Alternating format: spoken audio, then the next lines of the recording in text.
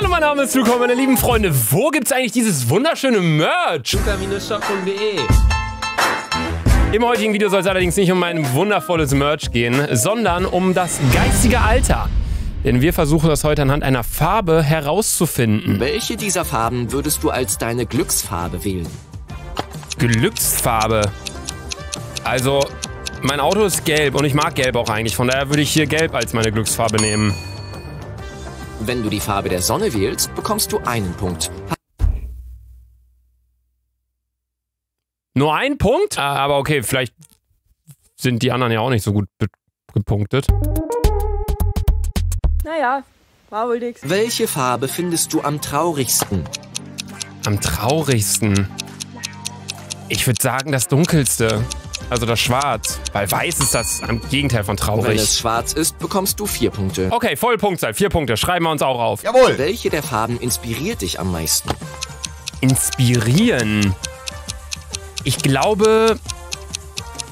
Oh, ich weiß es. Ich glaube grün. Ich glaube grün inspiriert mich Wenn am dich die meisten. Farbe weiß inspiriert, bekommst du vier Punkte. Vier? Hilft dir Orange, neue Ideen zu finden? Erhöhe deinen Punktestand um einen Punkt. okay, zwei Ist oder drei? Punkte? Dafür bekommst du drei Punkte. Ja, okay. Drei Punkte ist in Ordnung. Schreibe ich mir drei auch noch auf. Welche Farbe ist dir zuerst ins Auge gesprungen? Pink.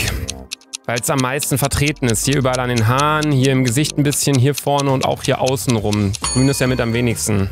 Wenn lila die erste Farbe war, die du gesehen hast, dann gib dir drei Punkte. Falls dir gelb sofort ins Auge gesprungen ist, Oh, vielleicht bekommst krieg du ich einen vier. Punkt.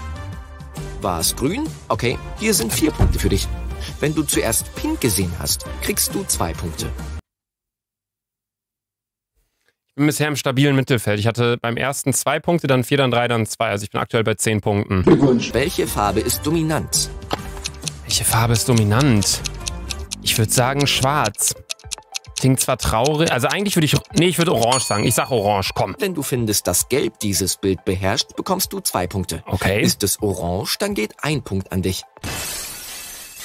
Verdammt, ey, ich scheiß rein. Was ist denn, ich, ich will halt wissen, was mein geistiges Alter ist. Immer mit der Ruhe, okay? Du willst ein neues Auto kaufen. Welche Autofarbe würdest du niemals wählen? Niemals. Pink oder Gold? Auf jeden Fall. Ich würde Pink nehmen. Nee, Gold. Ich nehme Gold. Ich nehme Gold. Pink ist funny, glaube ich sogar. Wenn du denkst, dass Magenta zu knallig ist und zu viel Aufmerksamkeit auf dich lenken würde, erhältst du drei Punkte. Das ist nicht Magenta, das ist Sieht Pink. weiß nach zu viel Arbeit aus, wenn es ums Waschen geht, Vier. gibt's vier Punkte. Wenn du dir nicht vorstellen kannst, ein schwarzes Auto zu fahren, weil das zu Eins. lang... Okay, das heißt, ich krieg zwei Punkte bei dem Goldenen. Wenn dein Leben ein Film wäre, dann wäre das ein Western. Du weißt schon, der in Sepiatönen und mit viel Action. Eine gute alte Schwarz-Weiß-Romanze. Der Mhm. Film, in dem Gefühle heller sind als die Farben und der Geist der Vergangenheit kaum zu schlagen ist. Okay. Ein lustiger Zeichentrickfilm. Bunte Farben, coole Figuren, witzige Szenen. So ist das Leben. Aha. Oder ein Science-Fiction-Film über das Leben in ferner Zukunft. Hightech, geheimnisvolle Melodien und Farben. Auf jeden Fall der Zeichentrickfilm, glaube ich.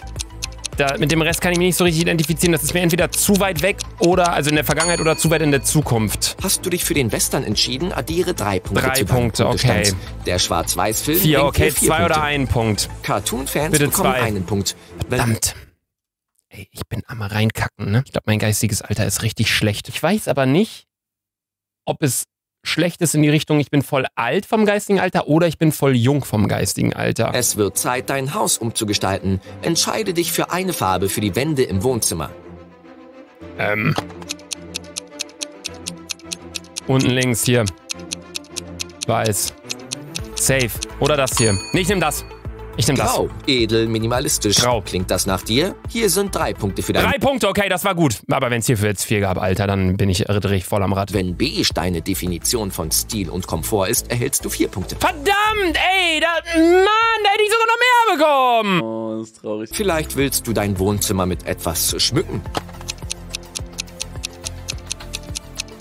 Hä?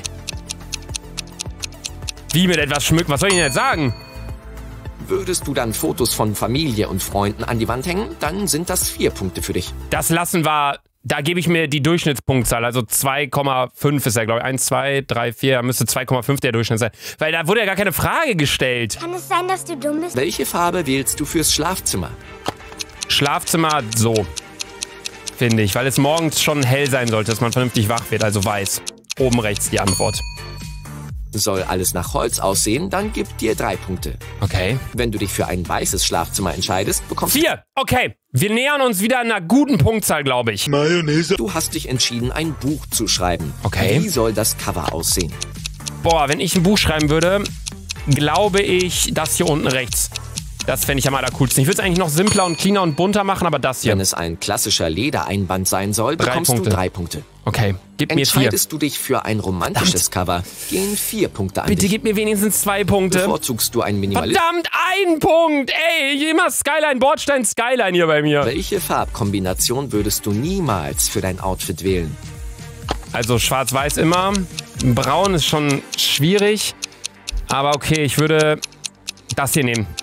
Gelb-orange, glaube ich. Wenn du dich nie für Schwarz-Weiß entscheidest, addiere drei Punkte zu deinem Punktestand. Schwarz-weiß immer.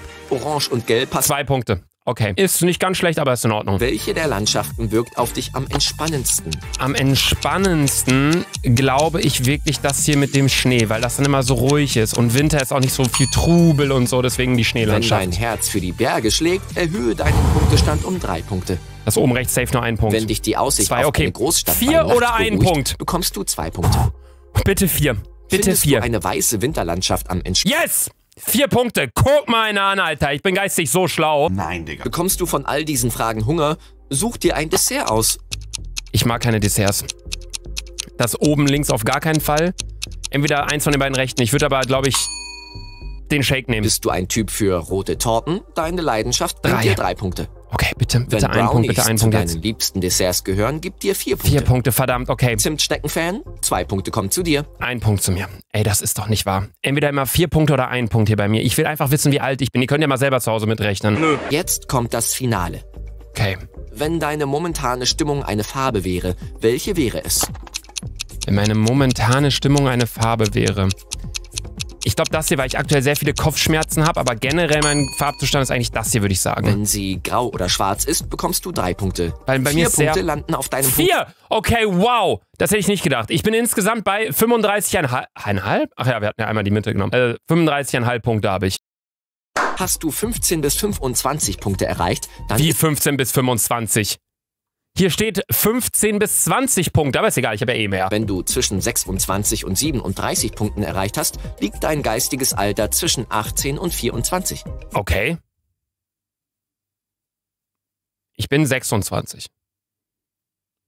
Aber das ergibt Sinn, weil mein Denken, glaube ich, noch so ein bisschen dumm jung ist. Aber ich will mal sehen, was Sie hier erklären. Du überlegst immer noch, was du machen willst, wenn du erwachsen bist. Freunde und Partys sind ein wichtiger Teil deines Lebens. Du willst alles ausprobieren, was das Leben zu bieten hat. Und Routine ist für dich ein ziemlich gruseliges Konzept. Okay. Der Rest interessiert mich nicht. Ich glaube, ihr habt auch nicht so viele Punkte. Falls doch, seht ihr das Video unten in der Beschreibung verlinkt, meine lieben Freunde. Und an der Stelle würde ich das heutige Video dann auch beenden. Wenn es euch gefallen hat, lasst gerne einen Daumen hoch unter diesem Video hier da, abonniert meinen Kanal und klickt auf die Glocke, um weitere Videos nicht zu verpassen. Ich bin vom geistigen Alter jünger, als ich eigentlich bin. Also ich weiß nicht, ob das jetzt vorteilhaft ist oder eher kontraproduktiv.